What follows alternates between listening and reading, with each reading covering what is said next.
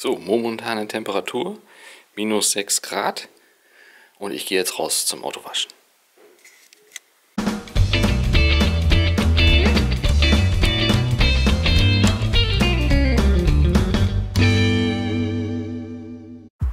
So, hallo, hier ist Dr. Du und wenn das Auto so stark vereist ist, dann können wir es natürlich nicht waschen. Sondern das muss eisfrei sein, am besten wenn man unter dem Carport parkt, weil sonst sprüht man das Mittel aufs Eis und das taut ja nicht gleich auf. So, hier haben wir das Winterwaschmittel. Ich bin stark vermummt, weil mir so arschkalt ist. Wintershine Cleaner von der Firma MyCleaner. Der ist zwischen 5 und minus 15 Grad soll der funktionieren.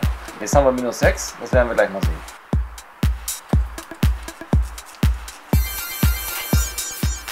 So, die Technik ist wie in meinem ersten Video, das heißt genug einsprühen, nicht zu viel, schön zerstäuben, dann wird der Dreck mit dem nächsten Tuch, mit dem einen Tuch, man hat zwei Tücher, mit dem einen Tuch wird der Dreck weggenommen und mit dem zweiten danach poliert. Ihr seht schon, das Mittel gefriert nicht. Es ist wie gesagt minus 6 Grad. Selbst auf der kalten Glasscheibe das ist kein Problem hier. Nehmt es schön mit dem Mikrofasertuch den Dreck weg. Ja, Sie seht schon den Unterschied. Gerade an der Heckklappe ist der Yeti immer extrem dreckig. So, und dann wird mit dem zweiten eben nachpoliert. Das Polieren selbst ist ein wenig anstrengender, da der Wachs, das Wachs doch bei der Kälte fester ist und man braucht doch mehr Kraft, um es wirklich zu polieren. Also es geht nicht so flott und leicht von der Hand wie im Sommer oder bei wärmeren Temperaturen. Aber ihr seht schon den Effekt, wie gut das Auto gleich aussieht.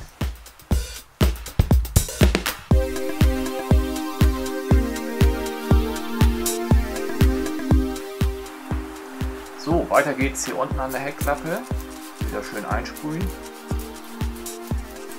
Man braucht ungefähr 200 bis 250 Milliliter bei warmen Temperaturen. Im Winter ist der Wagen dreckiger, da braucht man sicherlich ein wenig mehr. Also ich würde mal sagen 4, 450 Milliliter wird man sicherlich brauchen für eine Komplettreinigung.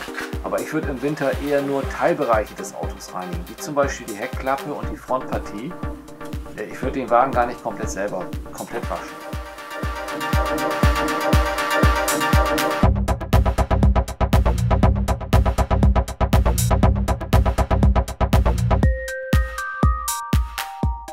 So, perfekt sauber. Ihr seht, wie er glänzt und strahlt.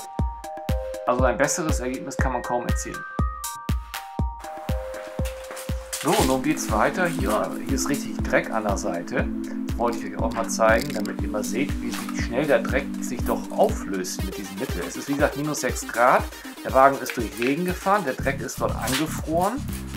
Ja, wir sprühen eben locker rauf und nehmen das relativ leicht mit dem Mikrofasertuch dann wieder weg.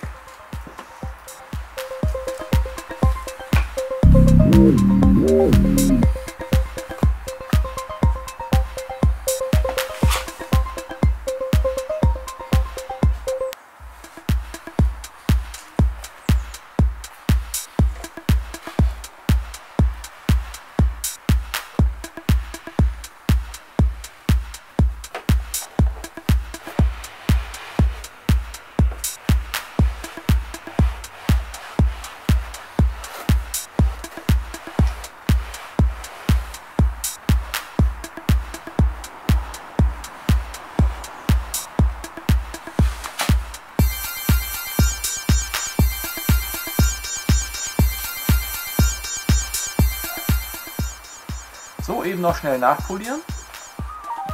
Und zwar immer nur der Bereich, den man gereinigt hat, ist ja klar.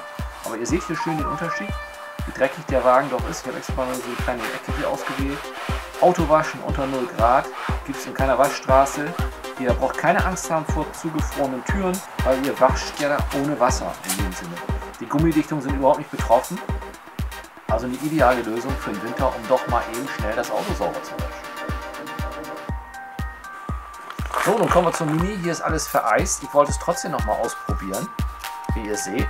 Ich sprühe das einfach mal rauf und es geht doch relativ leicht äh, ab. Es ist natürlich schon das Eis, das muss man ein bisschen wegschieben dort. Also nicht so ideal. Besser ist wirklich der Wagen ist eisfrei. Aber es geht auch so. Das heißt, wenn man eine verdreckte Stoßstange hat und sagt, mein Gott, ich will das mal eben putzen, dann putzt man halt nur Teilbereiche des Autos. Und äh, dann ist wieder gut. So, noch schnell nachpolieren, dann seht ihr mal, wie das wieder glänzt. Ähm, ich würde bei der Kälte nur Teilbereiche des Autos waschen. Also ich muss ehrlich sein, da muss man ganz schön motiviert sein. Die Finger fangen ganz schön an zu frieren. Ähm, insofern mein Fazit ist, Mittel ist perfekt, aber die Motivation muss stimmen.